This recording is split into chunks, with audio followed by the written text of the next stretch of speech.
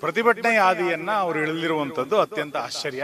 ನಾನೇನು ಮಾಡೇ ಇಲ್ಲ ನಾನು ಭಾರಿ ಸಾಚ ಅನ್ನುವ ರೀತಿಯಲ್ಲಿ ಬಿಂಬಿಸುವಂತ ಪ್ರಯತ್ನವನ್ನ ಇದು ಮಾಡಿದ್ದಾರೆ. ಯಾಕೆ ಹೋದ್ರು ಸದನದಿಂದ ಮಾತಾಡದೆ ಉತ್ತರ ಕೊಡದೆ ಅವಕಾಶ ಕೊಡ್ಲಿಲ್ಲ? ಇವ್ರು ಇವತ್ತು ಭಾಷಣದಲ್ಲಿ ಅವ್ರು ಯಾರೋ ಕರ್ಕೊಂಡ್ ಬಂದಿರುವಂತ ಜನರ ಮುಂದೆ ಒನ್ ವೇ ಭಾಷಣ ಮಾಡಿದ್ದಾರೆ. ಸಿದ್ದರಾಮಯ್ಯ ಭಯ ಬೀಳ್ತಿದಾರಾ ಇಲ್ಲ ಏನ್ ಕತೆ ಅಂತ ನೆಗ್ಲೆಕ್ಟ್ ಮಾಡ್ತಿದಾರಾ? ಭಯ ಆಗಿದೆಯಾ ಅವ್ರಿಗೆ ಅಂತ? ನನ್ನ ರಾಜೀನಾಮೆಯ ದಿನಗಳು ಹತ್ರ ಬರ್ತಾ ಇದೆ ಅಂತೇಳಿ ಅವ್ರಿಗೆ ಅನ್ನಿಸ್ಲಿಕ್ಕೆ ಪ್ರಾರಂಭ ಆಗಿದೆ. ನಾನು ಇರೋವರೆಗೂ ಸಿದ್ದರಾಮಯ್ಯನವ್ರು ಏನೂ ಮಾಡಕ್ ಸಾಧ್ಯ ಇಲ್ಲ ಅಂತ ಡಿ ಕೆ ಶಿವಕುಮಾರ್ ಹೇಳ್ತಾರೆ ಘಂಟಾಘೋಷವಾಗಿ. ಇದೊಂದು ಏಪ್ರಿಲ್ ಫುಲ್ ಅಂತ ಅನ್ಕೊಳ್ತೇನೆ. ಕಾಂಗ್ರೆಸ್ನೊಳಗೂ ಡಿ ಕೆ ಶಿವಕುಮಾರ್ ಅವರ ನೇತೃತ್ವದಲ್ಲಿ ಒಂದು ದೊಡ್ಡ ಗುಂಪು. ಸಿದ್ದರಾಮಯ್ಯವರನ್ನು ಇಳಿಸಬೇಕು ಅಂತಾನೆ ಕೆಲಸ ಮಾಡ್ತಾ ಇದೆ. ಮೈಸೂರು ಚಲೋ ಪಾದಯಾತ್ರೆ ಈಗ ಮೈಸೂರು ನಗರವನ್ನ ಇನ್ನು ಕೆಲವೇ ಕಿಲೋಮೀಟರ್ ರೀಚ್ ಆಗುತ್ತೆ. ಈಗ ಬಿಜೆಪಿ ನಾಯಕರು ಸುನಿಲ್ ಕುಮಾರ್ ಅವರು ಹಾಗೆ ಮಾಜಿ ಸಚಿವರು ಅರ್ತಾಳ ಅಲಪ್ಪವ್ರು ಕೂಡ ಇಲ್ಲೇ ಇದ್ದಾರೆ. ಹಿಂದೆ ದೊಡ್ಡ ಸಮೂಹ ಬಿಜೆಪಿ ನಾಯಕರು ಜೆಡಿಎಸ್ ಕಾರ್ಯಕರ್ತರೆಲ್ಲ ಬರ್ತಾ ಇದ್ದಾರೆ. ಹಾ ಸೊ ಈಗ ಒಂದಷ್ಟು ಜೆ ಡಿ ಕಾಂಗ್ರೆಸ್ನವರು ಪ್ರತಿಭಟನೆ ಮಾಡಿದ್ರು ಕೂಡ ಅವರು ಸಮಾವೇಶ ಇತ್ತು. ಅವರೆಲ್ಲ ಹೋಗ್ಲಿ ಅಂತ ಅವ್ರನ್ನ ತಡ್ಕೊಂಡು ನಿಂತಿದ್ರು. ಇವ್ರ ಆಕ್ರೋಶದ ಕಟ್ಟೆ ಹೊಡೆದಿತ್ತು. ಬಿಡಬೇಕು ಅಂತ ಹಠ ಮಾಡ್ಕೊಂಡು ಜೋರಾಗಿ ಈಗೆಲ್ಲ ಬರ್ತಾ ಇದ್ದಾರೆ. ಎಸ್ ಮೈಸೂರು ಚಲೋ ಮೈಸೂರು ಮುಟ್ಟಿದ್ರಿ. ಉದ್ದೇಶ ಈಡೇರ್ತಿದ್ಯಾ? ಖಂಡಿತ. ಇವತ್ತು ಸಿದ್ದರಾಮಯ್ಯನವರ ಭಾಷಣ ಕೇಳಿದ್ರೆ ಎಷ್ಟು ದೊಡ್ಡ ಪ್ರಮಾಣದಲ್ಲಿ ಹತಾಶರಾಗಿ ವಿರೋಧ ಪಕ್ಷಗಳನ್ನ ಟೀಕೆ ಮಾಡಿದ್ದಾರೆ ಅಂತ ಗೊತ್ತಾಗುತ್ತೆ. ಒಂದು ಆಡಳಿತ ಪಕ್ಷ ಒಂದು ಪ್ರತಿಭಟನೆಗೆ ಇಳಿದಿರುವಂತದ್ದು ಬಹುಶಃ ಕರ್ನಾಟಕದ ಇತಿಹಾಸದಲ್ಲಿ ಮೊದಲನೇ ಬಾರಿಗೆ. ತನ್ನ ತಪ್ಪುಗಳನ್ನ ಸಮರ್ಥಿಸ್ಕೊಳ್ಳಿಕ್ಕೆ ಪ್ರತಿಭಟನೆ ಆದಿಯನ್ನ ಅವರು ಇಳಿದಿರುವಂತದ್ದು ಅತ್ಯಂತ ಆಶ್ಚರ್ಯ. ಮತ್ತು ಇಡೀ ಭಾಷಣದಲ್ಲಿ ನಾವೇನ್ ಮಾಡಿದೀವಿ ಅನ್ನೋದಕ್ಕಿಂತ ಹೆಚ್ಚಾಗಿ ನಾನೇನು ಮಾಡೇ ಇಲ್ಲ, ನಾನು ಭಾರಿ ಸಾಚ ಅನ್ನುವ ರೀತಿಯಲ್ಲಿ ಬಿಂಬಿಸುವಂತ ಪ್ರಯತ್ನವನ್ನ ಇದು ಮಾಡಿದ್ದಾರೆ.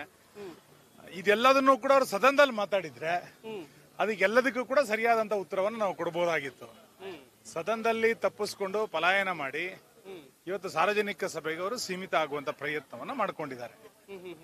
ಯಾಕೆ ಸದನದಿಂದ ನಿಮ್ಮ ನಿಮ್ ಪ್ರಕಾರ ನೀವು ಹೇಳ್ತೀರಿ ಎಸ್ಕೇಪ್ ಆಗ್ಬಿಟ್ರಿ ಸದನದಲ್ಲಿ ಓಡೋಗ್ಬಿಟ್ರಿ ಅಂತ? ಯಾಕೆ ಹೋದ್ರು ಸದನದಿಂದ ಮಾತಾಡದೆ ಇಲ್ಲಿ ಉತ್ತರ ಕೊಡದೆ ಅವಕಾಶ ಕೊಡ್ಲಿಲ್ಲ? ಈ ಸದನದಲ್ಲಿ ಆ ನಾವು ಕೇಳುವಂತ ಪ್ರಶ್ನೆಗಳಿಗೆ ಅವ್ರು ಉತ್ತರ ಕೊಡಕ್ಕೆ ಆಗ್ತಿರ್ಲಿಲ್ಲ. ನಮ್ಮ ಹತ್ರ ದಾಖಲೆಗಳ ಸಮೇತ ಇತ್ತು. ಇವ್ರು ಇವತ್ತು ಭಾಷಣದಲ್ಲಿ ಅವ್ರು ಯಾರೋ ಕರ್ಕೊಂಬಂದಿರುವಂತ ಜನರ ಮುಂದೆ ಒನ್ ವೇ ಭಾಷಣ ಮಾಡಿದ್ದಾರೆ. ನಾ ಕೇಳುವಂತ ಪ್ರಶ್ನೆಗಳಿಗೆ ಉತ್ತರ ಕೊಡ್ಬೋದಿತ್ತು. ನಾನು ಈಗಲೂ ಆಗ್ರಹಿಸ್ತೇನೆ. ನೀವು ಚರ್ಚೆಗೆ ಸಿದ್ಧರಿದ್ದಿದ್ರೆ ಒಂದು ಸ್ಪೆಷಲ್ ಅಧಿವೇಶನ ಕರೀರಿ. ಒಂದು ವಿಶೇಷ ಅಧಿವೇಶನವನ್ನ ಎರಡೂ ವಿಷಯಗಳಿಗೆ ಸಂಬಂಧಪಟ್ಟಂತೆ ಹಗರಣಗಳ ಸರ್ಕಾರ ಅಂತ ಏನ್ ನಾವು ಕರಿತಾ ಇದೀವಿ ಇದಕ್ಕೆ ಸಂಬಂಧಪಟ್ಟಂತೆ ಒಂದು ಮೂರು ದಿನ ಅಧಿವೇಶನ ಕರೀರಿ. ಎಳೆ ಎಳೆಯಾಗಿ ನಿಮ್ಮ ಎಲ್ಲ ವಿಷಯಗಳನ್ನ ಬಿಚ್ಚಿಡ್ತೇವೆ. ನೀವು ಅದಕ್ಕೆ ಉತ್ತರವನ್ನ ಅಥವಾ ಸಮರ್ಸಿಕೊಳ್ಳುವಂತ ಪ್ರಯತ್ನವನ್ನ ಮಾಡಿ. ನಂತರ ಜನ ಏನ್ ತೀರ್ಮಾನ ಮಾಡ್ತಾರೆ ನೋಡೋಣ. ಸಿದ್ದರಾಮಯ್ಯ ಭಯ ಬೀಳ್ತಿದಾರಾ ಇಲ್ಲ ಏನ್ ಕತೆ ಅಂತ ನೆಗ್ಲೆಕ್ಟ್ ಮಾಡ್ತಿದಾರ? ಭಯ ಆಗಿದೆಯಾ ಅವ್ರಿಗೆ ಅಂತ? ಸ್ವತಃ ಕಪ್ಪು ಚುಕ್ಕೆ ಇಲ್ಲ ಅಂತ ತನ್ನನ್ನು ತಾನೇ ಬಿಂಬಿಸಿಕೊಂಡು ಈಗ ಮೈತುಂಬಾ ಮಸಿ ಬೆಳ್ಕೊಂಡು ಸಮರ್ಥನೆ ಮಾಡ್ಕೊಳ್ಳಿಕ್ಕೆ ಒದ್ದಾಡುವಂತ ಪರಿಸ್ಥಿತಿ ನಿರ್ಮಾಣ ಆಗಿದೆ. ಒಂದು ರೀತಿ ಭಯಭೀತರಾಗಿದ್ದಾರೆ. ನನ್ನ ರಾಜೀನಾಮೆಯ ದಿನಗಳು ಹತ್ರ ಬರ್ತಾ ಇದೆ ಅಂತೇಳಿ ಅವ್ರಿಗೆ ಅನ್ನಿಸ್ಲಿಕ್ಕೆ ಪ್ರಾರಂಭ ಆಗಿದೆ. Okay S C S T ಸಮುದಾಯಕ್ಕೆ ದೊಡ್ಡ ಮಟ್ಟಿಗೆ ಅನ್ಯಾಯ ಮಾಡಿದ್ದಾರೆ ಅನ್ನೋದು ನಿಮ್ಮ ಆರೋಪ. ಎಸ್ ಸಿ ಎಸ್ ಟಿ ಅಭಿವೃದ್ಧಿ ಅಂತ ಇಪ್ಪತ್ನಾಲ್ಕು ಇಪ್ಪತ್ತೈದು ಸಾವಿರ ಕೋಟಿಯನ್ನ ಬೇರೆ ಬಳಸ್ಕೊಂಡಿದ್ದಾರೆ. ಎರಡನೇದಾಗಿ ವಾಲ್ಮೀಕಿ ನಿಗಮದಲ್ಲಿ ಎಂಬತ್ತೊಂಬತ್ತು ಕೋಟಿಯನ್ನ ನೇರವಾಗಿ ಅಕೌಂಟ್ ಹಾಕೊಂಡು ಲೂಟಿ ಮಾಡ್ಕೊಂಡಿದ್ದಾರೆ ಅನ್ನೋದನ್ನು ನೀವು ಮಾಡ್ತಿದ್ದೀರಿ. ಇದು ಎಸ್ ಸಿ ಎಸ್ ಟಿ ಸಮುದಾಯಕ್ಕೆ ಅರ್ಥ ಆಗಿದೆಯಾ? ಖಂಡಿತ.